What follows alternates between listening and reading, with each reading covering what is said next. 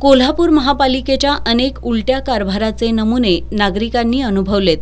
आता मंगळवारी रात्री थेट महापालिकेच्या इमारतीवर तिरंगा ध्वजाच्या रंगसंगतीमधील क्रम उलटा करत विद्युत रोषणाई केल्यानं महापालिका प्रशासनावर टीकेची झोड उठली आहे सोशल माध्यमातून यावर महापालिका प्रशासनाचे वाभाडे निघाल्यानंतर प्रशासनानं विद्युत रोषणाईच्या रंगसंगतीचा क्रम दुरुस्त केलाय.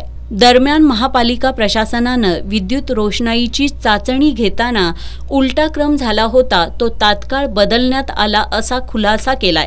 महापालिका प्रशासनाचा हा खुलासा कोल्हापूरकरांना कितपत पटतोय माहीत नाही पण महापालिका प्रशासनानं गलथान कारभार कसा रोखता येईल याचा गांभीर्यानं विचार करायला हवा.